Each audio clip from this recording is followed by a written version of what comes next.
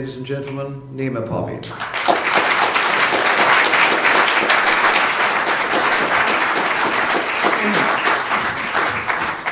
Thanks a lot for that intro. I felt like I was on This Is Your Life or something. Uh, um, so today I want to share with you the concluding chapter of uh, my new book, The Prophets of Doom, Buy It Now, uh, with significant insertions and elaborations.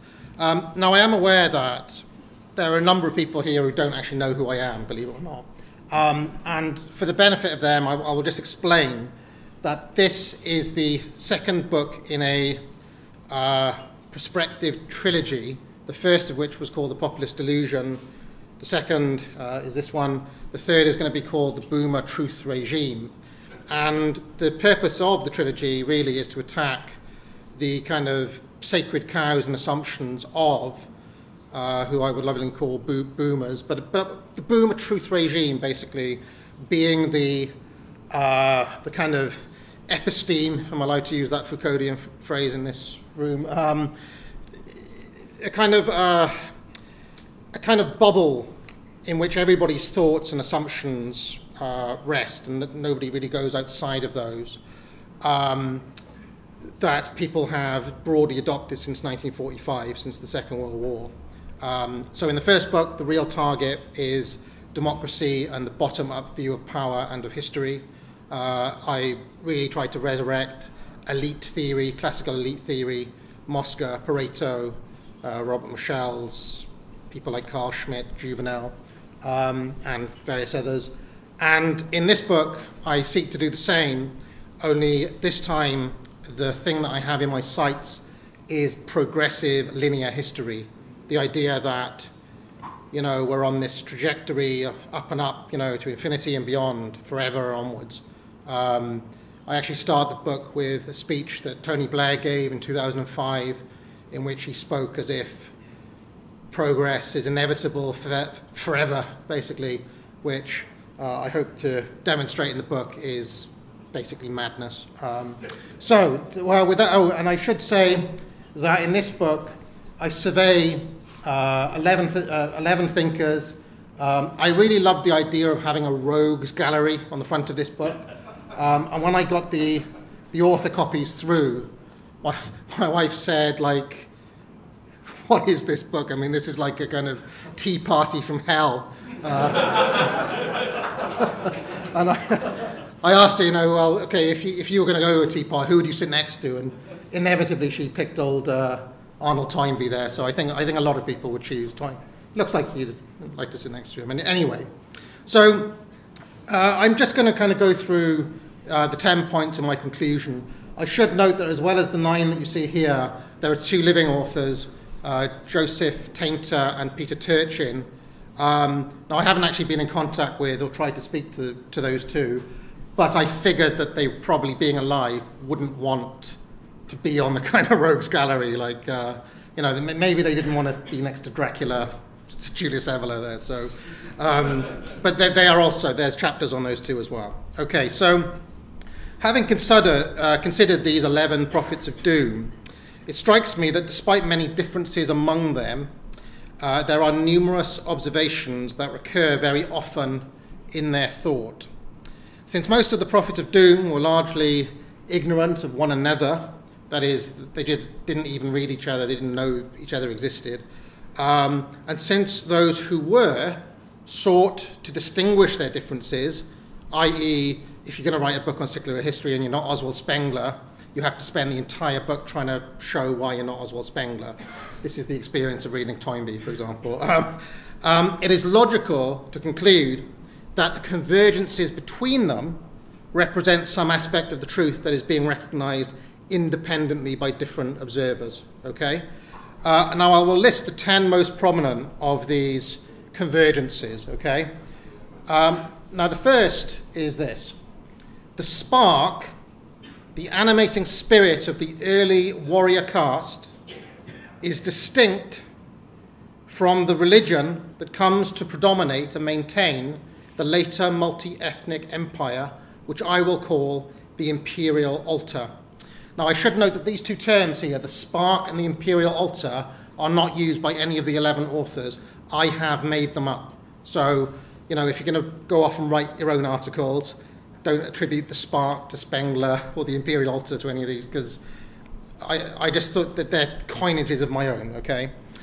Earlier in the book, I share a paper by Peter Turchin which qualifies this statement. It showed that what they have called big gods developed chiefly as a political technology to maintain a multi ethnic empire. Incidentally, this was also noted by the elite theorist Gaetano Mosca in 1895. In other words, universal moralizing religions like Christianity, Islam, and others, um, what Toynbee calls universal churches, which recall for him is a late civilizational development, are the product of more complex societies, the product of them. And this is contrary to what has been claimed by many scholars, uh, which is that the universalizing social technologies are actually the engines driving civilizations. We have seen throughout the study, again and again, from multiple authors, that almost every civilization or empire has started with the bursting out of a barbarian group of the Bronze Age variety, who most people would think of as primitive. These barbarian groups did have religions which helped to animate them in their spirit and their zeal in this great bursting forth. But these religions were not of the moralizing and universalizing stripe. These were people who practically believed in magic. It is the wide and awestruck eyes at the lightning bolt described by Vico, or the age of fear described by Brooks Adams, who's another writer I look at. You know, if you can imagine kind of savage band, they see the lightning bolt and they think, oh, this is God, or, something like that. This is a rather different impetus to, for example, the organized church in, you know, 1500 or something, okay? You can see that these two forms of religion are different. Um, and I don't think a lot of people pull these two things apart very often. Um, as we saw in Evola, they embodied a crude approximation of what he called solar masculine energy, a kind of vitality. For such men, religion is not universalist, but necessarily becomes particularist because they can embody nothing else. A battle of friend against enemy, of in group versus out group, crusade versus jihad. And when I talk about when I'm talking about jihad there, I'm thinking of like actual Muhammad with his original followers. Can imagine fighting them. You know, there's tales from uh, 600 AD, the Persians kind of, sadly, uh, uh, I mean, but there are tales of, you know, uh, professional militaries facing the, you know, the original Arab crusaders, and they were terrifying, and they were, you know, of a completely different stripe um, from the sort of religion that you see in, a, in advanced civilization. um, this quality that I'm talking about is called asabiya and is described by Ibn Khaldun and modelled by Peter Turchin. And the lunar feminine petty moralizing of the bourgeois variety, against which somebody like Evola revolted like Nietzsche before him, represents quite a different strain of religion that Turchin and his collaborators have called Big God, which is used to consolidate the gains made by men of the first stripe. Now, Evola called this kind of religion exterior or exoteric. Toynbee might have called it the ephemeral institution or the merely temporal institution. As Gobineau argued, another of the prophets of doom, the most forceful among our authors to do so, such a universal religion may help, may help to maintain a civilization for a time, but it certainly cannot save it from the collapse after the original animating spirit of the early phase is a distant memory. since the universal religion was not the ultimate cause of the civilization. It was the spirit, the strength, the asabiya of the founding elite.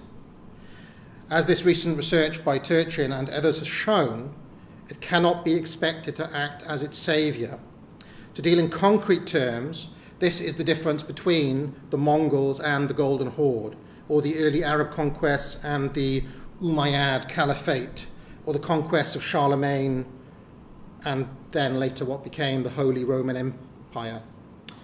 The raiders of the early period must embody a kind of heroic spirit, while the rulers of the later period, by necessity, have a different set of problems the problems of law, order, social cohesion to solve, especially if it's a multi ethnic empire. If the raiders had conquered vast swathes of territory comprising disparate peoples who spoke different languages and practiced different religions, one might then see how the need for universal religion might become an imperative, okay? And the reason I'm prizing these two concepts apart is because, um, speaking off script for, for a second here, I think what conservatives have done for a very long time is they've tried to hold on to that second kind of civilization, that the maintenance of a civilization. And what I'm suggesting may be happening is that we are moving beyond that point, i.e., even if you try to maintain that civilization, what are you saving at this point? It requires somebody of a different stripe now to do what is necessary, okay? So this brings us to point two. Civilizational successes, such as conquest, wealth, and education, generate their own lost conditions. I believe it was the notorious B.I.G. who once said, more money, more problems. He actually said mo money, mo problems, but I have, uh, I have anglicized it. but, one, but one of the issues with prosperity is that it generates, this is the key problem, it generates intellectualism, a certain idealism, and humanitarianism. It generates a robust education system, and so on, all of the fruits of prosperity. And then, this is crucial, it mistakes those effects for causes. The true cause at root is always conquest. But as a people get richer, their taste for violence reduces. They forget that order is based ultimately on force. In elite theory terms, we get a circulation of elites of the lion variety to elites of the fox variety. Or as uh, another theorist put it, masters in coercion versus masters in persuasion. We live under masters in persuasion, believe it or not, although their powers are waning. Um, this also happens historically. So, a point Vito, Vico makes, for example, who is the first of the prophets of doom and arguably the most profound, is that we tend to remember the Greeks for Socrates and Plato as being what made them great. But in fact, they were the decadent aftermath of greatness, which is captured in Homer. And paradoxically, it is the likes of Socrates and Plato who are directly responsible for the downfall of Greek civilization because of what Vico calls the barbarism of reflection. And this is a pattern noted by almost all cyclical theorists who counterintuitively see the rise of intellectuals as a sign that decline is about to accelerate. And um, I mean, the, the, best kind of soundbite I've got on the Plato front, or Socrates, I mean, see Socrates coming. He's almost like a kind of ancient Greek Richard Dawkins. I know that sounds ridiculous, but it, he's, it, it'd be like saying, oh, well, the British were great because of Richard Dawkins. I mean, nobody would make this claim, right? But this is what Vico's trying to say. It's like you have a skewed, you're seeing the fruit and not the, not the tree. Um, and this brings us on to the third point here. The barbarism of reflection destroys the foundations of the imperial altar and successfully kills any last remnants of the spark. The advent of intellectuals is a double tragedy. First, because the altar, which comes about, if you remember, to manage and hold together the multicultural empire, is weakened. It's weakened. I mean, when all the people say, you know, the weakening of Christianity has had a bad effect, they're right. This is the, the weakening of the of this form of Christianity. Um, this is the weakening of the imperial altar, which which does actually function as a, as a kind of social glue. Okay, I'm not saying that's not important. I'm saying that we're kind of I feel like we're past that point. This that ship has sailed already. The second tragedy, and apologies if you are one of these, uh, the second tragedy that is um, caused by the barbarism of reflection is because the attacks by intellectuals kind of attack the foundations and the, attack the imperial altar, it produces an even worse variety of intellectual conservatives. conservatives mistake the imperial altar as the cause of the civilizational, the civilizational greatness and seek to preserve and uphold that rather than the actual causes, which is the spark, which dims and fades and then is entirely lost. Okay? And I think this is why conservatives in all times and all places basically just have a massive series of L's. They have only ever lost. I, I, I can't think of a single actual conservative victory, certainly not in this country. Um, I mean, the Conservative victories in this country were actually betrayals of their own base. Repeal of the Corn Law, expanding the franchise, you know, kicking out Enoch Powell, mass immigration. Brexit is really about a more global Britain. You know, that is, those are kind of, they're not really conservative successes, are they? I mean, they're kind of, you know, conservative tricks, uh, if you want to put it that way. Um, the spark is diminished by both intellectuals and by conservatives. The advent of conservatives in a civilization is almost always a bad sign because they are committed to dying rather than growing. And under Spengler's principle, that which is not growing is dying. An empire that is seeking to preserve and maintain rather than expand is already dead. And in the case of the British Empire, you can actually see this directly. The moment the British Empire spawns conservatives, it basically it's, I mean, it's gone already. Um, so that's for you guys to read in your own time. Uh, the cause is, so the number four, the castes uh, of the lion archetype, that is the warriors and the peasants, have mutual antagonisms with the, um, the caste of the fox archetype, that's the priests or intellectuals and the merchants. Now, this is fairly self explanatory, but it's worth noting the various ways in which these four basic castes combine, and it's important.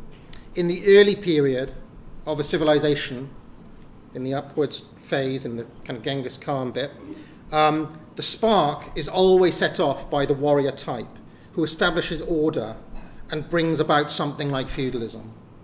Spengler notes a natural affinity between the warrior type and the peasant type. They are both lions in spirit.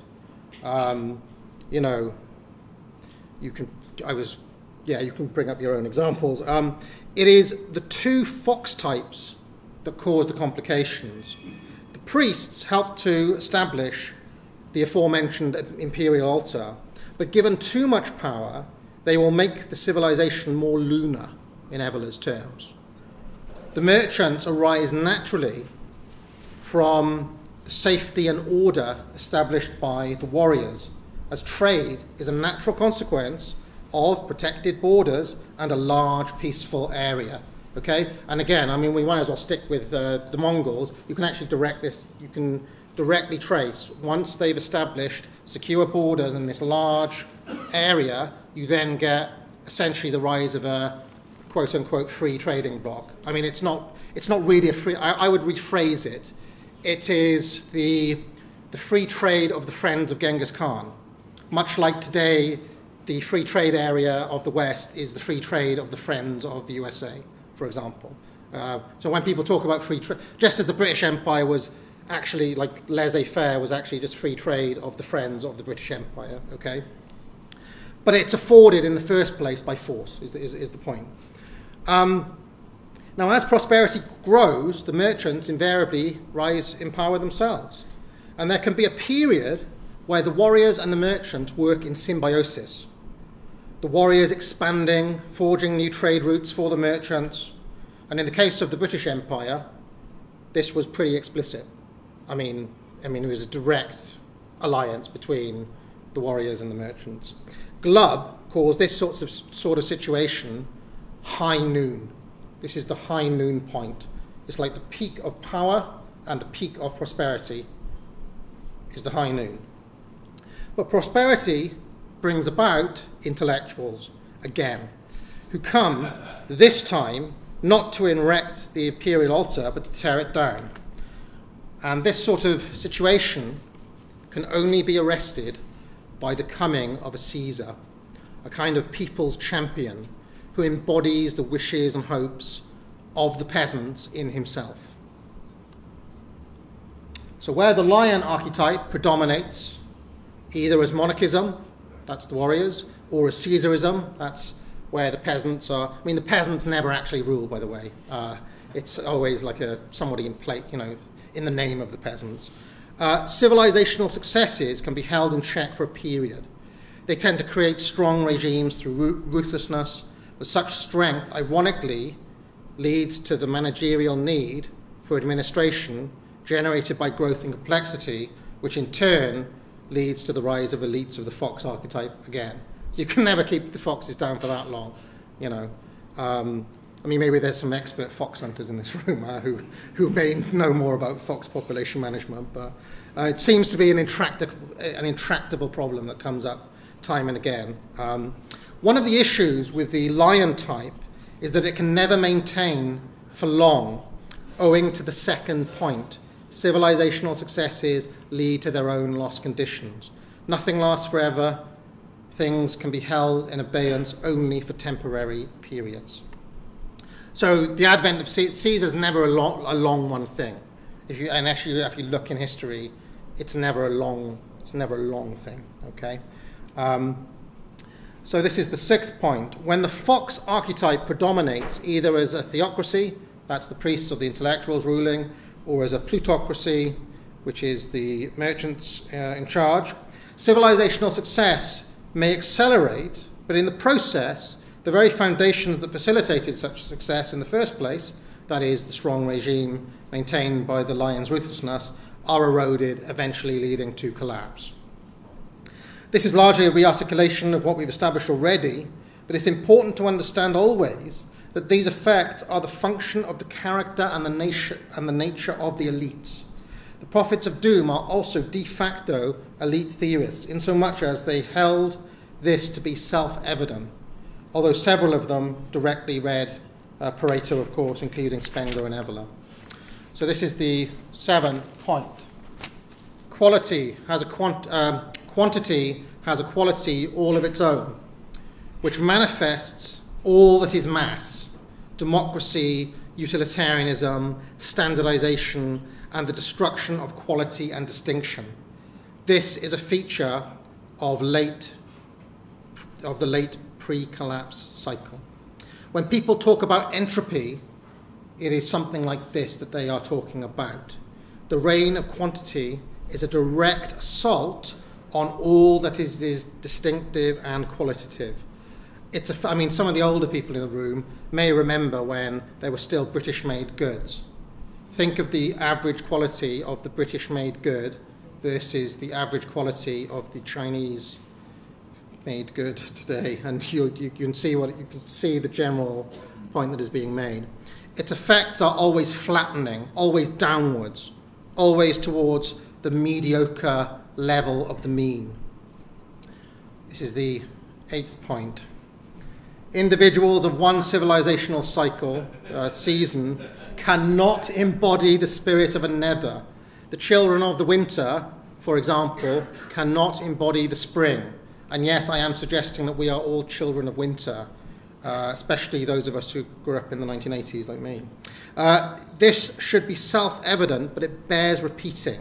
It doesn't matter how much you puff yourself up, you're a child of winter. You're not Genghis Khan. The process cannot be cheated. The great man will come when the conditions are right. And a prerequisite for producing the Carlylean great man is always some sort of suffering or struggle. I don't mean getting fired from a job, you know, over edgy tweets, not being able to post on Twitter for a day. I mean, this is not suffering. I mean, like living in the mountains or the deserts just trying to survive, or, you know, ha- have a read of the life of some of, uh, you know, these sorts of figures one day, and you will see the, the actual suffering I'm talking about. And it doesn't really matter which kind of set of counter elites you pick, you know, Bolsheviks, for example, were in and out of jail for what, 25 years? Hands up if you've been in and out of jail for your political distance. Nobody, you know, or maybe maybe one of you. I, I don't know. Uh, um, uh, or I don't know if you if you take the German, uh, you know, the German, uh, you know, the, uh, the Nazis essentially. Um, they had suffered in World War One. They'd all served they were all soldiers. They were. They'd suffered a, you know, world-altering humiliation on the world stage. Um, again, I don't think uh, we're there, basically.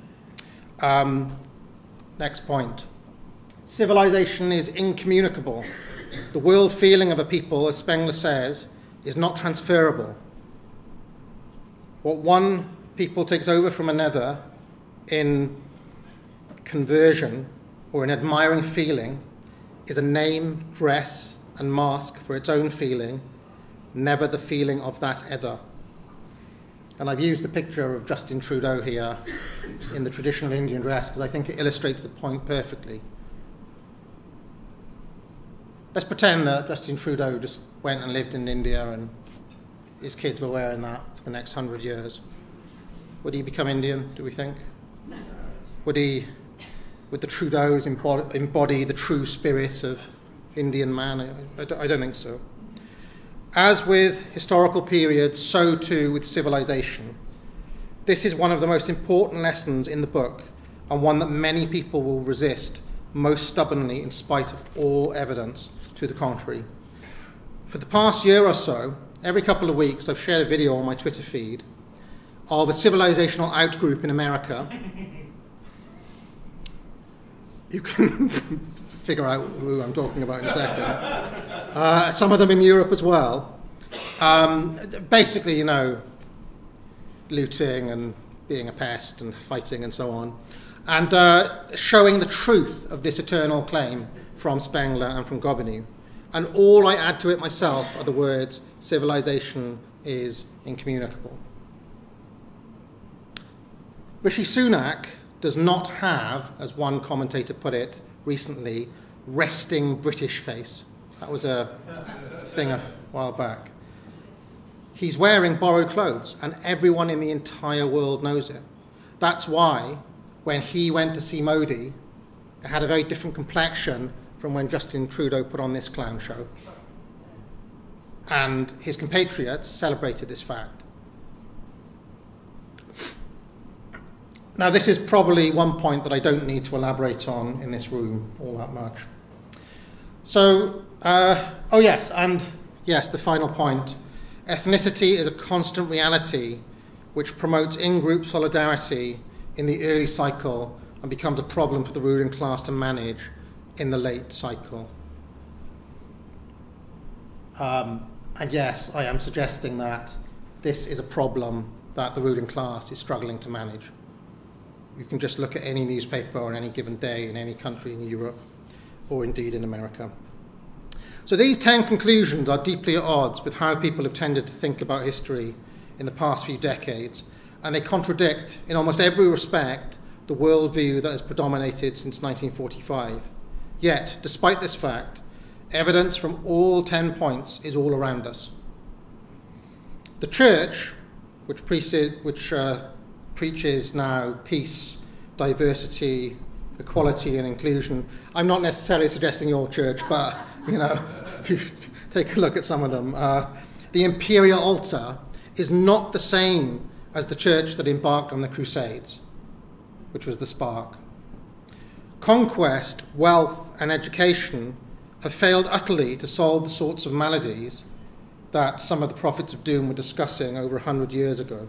On the contrary, they have accelerated them.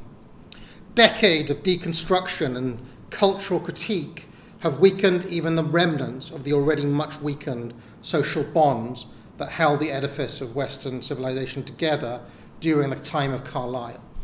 Don't forget, Carlyle was around in 1850 being like, this place is going to shit. I mean, you know, uh, um, everywhere the fox archetype rules through cunning and persuasion, although its tricks look ever more transparent and cruder as the quality of the elites has degraded. Quality and distinction are increasingly all but outlawed in a stultifying, standardized world that, despite crowing ever more loudly about diversity, seems to flatten and deaden anything uniquely local and particular under the leaden foot of globalism, once dubbed McWorld. I remember being in a theme park a while back, and I was in Mexico land you can buy a taco. And I was thinking, like, I was trying to imagine what it would be like to be Mexican in Mexico land in that theme park. But essentially, that is what the kind of globalist order does to all cultures, all of them. Um, kind of makes you a tourist in your own, in your own place. Um, even as millions of people look on in horror as the social order they have known all their lives seems to collapse all around them even as, in the case of Brazil in early 2023, millions flooded the streets, practically begging for a great man to grab history by the scruff of the neck. None dare step forward. The children of the late winter cannot embody the spring. Nothing says this more than the sorry image of former Brazilian President Bolsonaro sitting down to enjoy a KFC miles away from the crowd that he led on and then abandoned. I'm not making this up. On the day that those millions of people were there, he was in Florida taking a selfie, eating fried chicken. Same as Trump. Same as Trump. Same as, same, as Trump, to a lesser, to a, you know, he's still kind of in the game a bit, but the KFC, the KFC thing was just, um, this is, this is because, let's be face it, Bolsonaro is a boomer and he is made to eat KFC and not play Caesar. Western leaders simply ignore the grim on the ground realities of multiculturalism, whether it is mass grooming gangs in the UK, fire in the streets of Paris, out of control crime in American cities. The political class still bury their ostrich heads in the sand and pretend there are no qualitative differences between peoples won't somebody think of the curry houses? Whether it is Atlanta, London, or Islamabad, their dream in the end is the same a giant, sprawling Milton Keynes with convenient parking and a Starbucks. and I, and fittingly, I went to Starbucks before this talk, so yeah. yeah. Before closing, uh, I would like to, I just need to check how much time I've got. How much time do I have here? I've got a bit of time? Yeah, okay. So before closing, I want to touch on four difficult issues that arise out of the preceding discussion. Three are from Brooks Adams, and one is from Spengler. Now, as outlined on my chapter on Adams, he believed that the modern age may represent the end of cyclical history. He was particularly kind of depressed, I think. Peter Turchin notably restricts his analysis to the agrarian age, and does not dare to read beyond it. So Turchin conveniently stops in 1900, so he doesn't brook this problem. Let us recall the three reasons that Brooks Adams gave for his belief that cycles would end. First, he argued that modern technology and policing methods have put elites beyond attack. Second, he believed that since the world has been effectively colonized, that there are no more barbarians to supply fresh energy. Third, he believed that since capitalism was now truly global, Asia would eclipse Europe in the long run, owing to their cheaper labour and faster birth rates. And uh, his brother, Henry Adams, has got a really wonderful little logic thing where he says, um, in world, what does he, how does he put it? In, in, in global capitalism, Asia tends to predominate over Europe, and you know it's kind of it's just a kind of uh, and I think that if, if you have a look at the Chinese, like if you look at if we were having this conference in China, we'd be having a very different conversation if you were kind of a Chinese nationalist or something. Um, Spengler predicts a period of Caesarism which tames the money power, as he put it. However, it is not clear if this period is in fact already over after the Second World War and the fall of the Berlin Wall, representing the last defeats of the Caesars. Uh, maybe, I mean, you could argue Franco was maybe the last of the Caesars or whatever. In other words, has the money power won indefinitely, or are there prospects for more Caesarism in the future? Now, I'll, I'll address each of these in turn. The idea that the elites are now untouchable because of technology is highlighted most memorably by the large barbed wire fence that was erected around Washington following the election of Joe, Bri- Joe, Joe Biden uh, you know, the most popular president in the United States history, uh, which was dis- uh, disputed and labeled as fraudulent by the inc- incumbent Trump. Now, whether Biden really did receive 81 million votes in 2020 is less relevant than the fact that the idea of American leaders being put in physical jeopardy was highlighted by the iconography of the fences and the media furore around the so called insurrection of the 6th of January 2021. On the 30th of August 2022, Biden made a barely veiled threat to his political opponents, which again evoked the idea of a violent clash between the government and the 74 million Americans who voted for Trump. Direct quote from Biden For those brave right wing Americans who say the Second Amendment is all about keeping America independent and safe, if you want to fight against the country, you need an F 15. You need something a little more than a gun. This led to a widespread debate which amounted to a real life discussion of Adams's point. Does technology indeed put elites beyond threat of physical reproach? Now, without getting into the technicalities of imagining guerrilla fighters in MAGA hats armed with machine guns up, up against F 15 fighter jets, the answer in the end always, and this is another lesson of history, comes down not to technology, but to will and what Turchin has called asabiya or collective solidarity among elites. If it came down to it, do the American elites have the will to use force on large swathes of the population? In Pareto's terms, this would signal a shift from a Fox led soft managerial regime that relies on persuasion to a lion led hard managerial regime that relies on force. We actually saw one in history this circulation from Lenin and the original Bolsheviks to Stalin. There was a good study done by uh, back when Washington still produced good, good material you could, uh, could read. Uh, even then, when a regime becomes openly coercive, the need for their number to remain determined to stay in power and above all unified is even greater. Now, since Adams was writing, we have seen at least one uh, enormous modern state, the USSR, collapse, and many other smaller states in, Eastern, in the Eastern Bloc likewise fall, despite enjoying modern policing methods and technologies. Therefore, we can only conclude that other modern states, such as the USA or China, for example, may also one day fall. Okay, so I say. Um, next, Adams argues that there can be no more barbarians. First, let us make clear what we are looking for. Uh, Toynbee makes a distinction between mere barbarians who come as kind of carrion. So if you can remember, like Rome was sacked a number of times. Not all of those groups are the spark. Some of them are just carrion feasting on the corpse. Okay, they're mere barbarians, and those groups that trigger the spark and start a new cycle as we've seen so many times through history, the Macedonians, the Arabs who followed Muhammad, the Mongols, the Mamluks, and so on and so forth.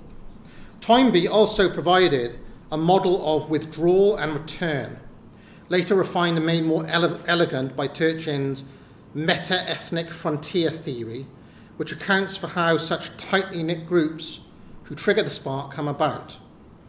They are incubated by relatively hostile conditions behind frontiers which produce asabiya.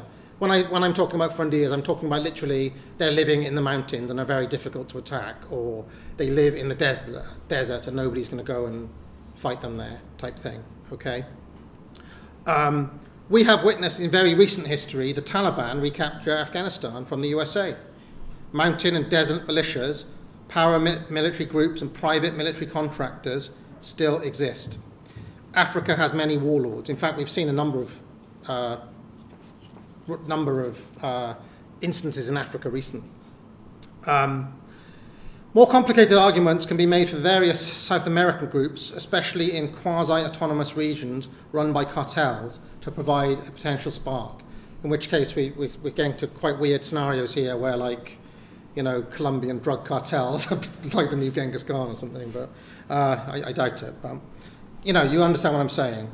Um, yet more complicated arguments can still be made for the African American population who have faced a long series of struggles and have provided, which has provided them with a feeling of uh, asabiya, in which many members of the black community see a hostile environment.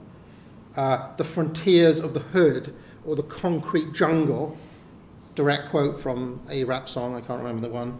Uh, it's like a jungle out there. Remember that one? Uh, I keep from going under. Um, uh, yeah, they're very well documented in African American subcultures. Okay. What is key to remember is that in almost every case, the group that triggers the spark arrives in a post-collapse environment. It would be a mistake to imagine any of the groups I've listed as potentials to light the spark taking on the US military, but rather to imagine conditions after the collapse of Western states. Now, Adams' next claim that capitalism is now global and that production would inevitably shift to China and Asia more widely is undoubtedly true. However, as we have seen, success breeds its own lost conditions, and if the East becomes dominant over the West for a period, it too will face its decline, and so on and so forth. Um, now, this may be counterintuitive, but there is a civilizational mechanism by which winning for a period invariably means losing for a period. So the saying goes hard times create strong men, strong men create hard times, good times create weak men, and weak men create hard times. While, as we have seen, there is a lot more to cyclical history than that, than this oft repeated meme, there is also an essential truth to it. However, this does not change some difficult facts for us. The, Mal- the Malthusian trap on which Turchin's model rests has been broken. Thus, it is not clear if population growth leads inextricably to the same breakdown and eventual collapse that he describes. China and India each have over a billion people, and their respective states do not seem to be under immediate threat of collapsing. Capitalism is also now quote unquote global, such that capital can be shifted around the globe at the touch of a button. The elites no longer simply represent governments, but they're a mobile, anywhere class, a globalist class, who might base themselves in any given city. This book began with one such elite, former Prime Minister Tony Blair. Whether states still have the power to rein in capital using force is an open question. It is the question that Vladimir Putin asked the world when he launched his offensive into Ukraine. In the case of China, still under the rule of the Chinese Communist Party and the increasingly autocratic Xi uh, Jinping, uh, the state quite clearly still rules over the quote unquote money power. However, both states inextricably depend on the global trade for their survival. Only the future can tell if the current power of global capital, as represented by the Davos class, can in fact be overcome.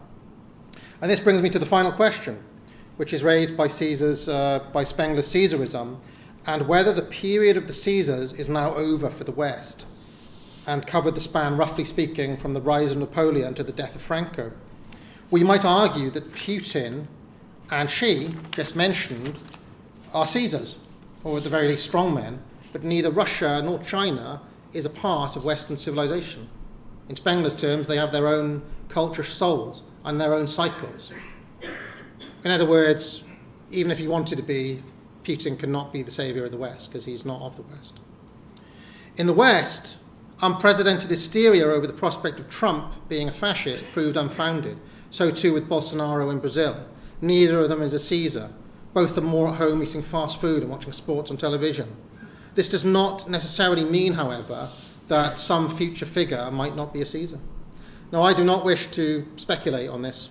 However, it is worth stressing that our own study has shown that empire is a completely inescapable reality of human life. The independent nation state is an anomaly, little more than a political fiction. Now, this is relevant because much political chatter since 2016 has cast globalists versus quote unquote nationalists. But it strikes me that nationalism is only ever a short run phenomenon, which takes place in specific circumstances, such as during Toynbee's withdrawal phase. Um, in fact, the history of like nationalism is actually quite sh- short if you look at the, the longue durée. Um, a large nation that can assert its quote unquote nationalism will seldom go long without developing imperial ambitions. Empires are necessarily multi ethnic affairs. They tend to develop universalism as a ruling strategy, the imperial altar. As Glubb outlined, the universalism of the empire tends to be designed to welcome in the conquered peoples at the expense of the founding stock. All empires sow the seeds of their undoing by degrading the founding stock over time, especially when conquered peoples are invited back to the capital. They could take a, take a look around. Uh, nationalisms can emerge in the breakdown of an empire, such as, for example, Indian nationalism at the decline of the British Empire. But such nationalisms are not a sign of a renewed spirit of a people. Gandhi did not represent a new spark for India, but rather the symptom of the weakness of the declining British power. And in fact, if you read more about Gandhi, you'll learn that there was a report done by the British Empire which showed that support for, Gan- support for the nationalist cause was only at 5%. And they were like, oh, this is a problem. We need to encourage more Indian nationalism because they actually wanted to get it off the books. Uh, that's a different story. Um, uh, in this regard, nationalism must be seen almost exclusively in terms of the strength or weakness of the American empire one of the few empires in history that refuses to acknowledge itself as such. This has some um, resonances with some, one of the earlier talks as well. A strong German nationalism in this context would be a direct measure of Amer- American weakness. The most recent survey taken by a Gallup International in 2015 showed that only 18% of Germans would fight for their country. France, Italy, Spain, and the United Kingdom, Austria, Portugal, and the Netherlands all polled at less than 30%, as compared with, for example, 73% of Turks and 59% of Russians. I take this as a sign of American strength, although it would be interesting to see how figures may have changed in the years since. It is worth noting that in the same poll, nations on the frontiers of the empire, for example, Finland, Greece, Poland, and Ukraine, all have higher ratings, since they are on the frontier and therefore have geostrategic importance for the USA. These higher ratings must be interpreted as being allowed for these purposes and these purposes only, i.e., Polish nationalism is a direct result of American foreign policy. Okay, uh, which is to say that nationalism in question is anti-Russian or anti-Turkish, as opposed to a genuine assertion of national interests as against American interests the question of American nationalism is of a different stripe since um, this means withdrawal from empire. So Trump actually would mean, if he was a genuine nationalist, would mean withdrawal from empire in the American context, which is that Trump's platform offered in prospect, but it did not actually deliver, not least because Trump was never truly in power, as we now know. Caesars in history, also, it should be noticed, have seldom, if ever, been isolationists. They arrived to save imperial powers. So, just to conclude here, my last paragraph, this book has shown the possible uses of thinking about history in a distinctly non progressive and cyclical way. While cyclical history cannot predict the future, it can help us to find our bearings. It can give us a sense of where we are, why we are facing the issues we face, and how, on a personal as well as a political level, we might think about coming to terms with such realities. It can, in a way, bring us down to earth keep us grounded and centered with a view to what is and what is not possible. All things must pass. Famous Boomer album. Uh, um, that we have known. What we have known must fade.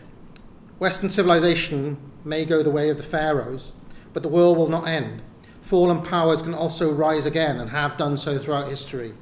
The Persians, as one example, scaled the heights of Cyrus the Great, Sassanids, and much later the Safavids, but also suffered terrible humiliations by the Greeks, by the Arabs, by the Mongols. Yet, Iran is still there, undergoing, as Toynbee might say, a period of withdrawal.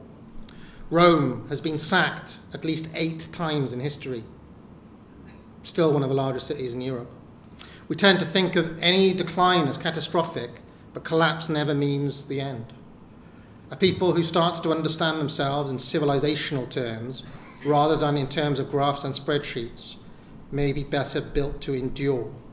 The alternative to what I have outlined in this book, which is the belief that things as we have known them since 1945 will continue indefinitely into the future for 100, 500, 1,000 years, as GDP goes up and up and progress marches on and on, should be recognised by all but the most hopelessly utopian reader as at best wishful thinking and at worst stupidity. Thank you very much.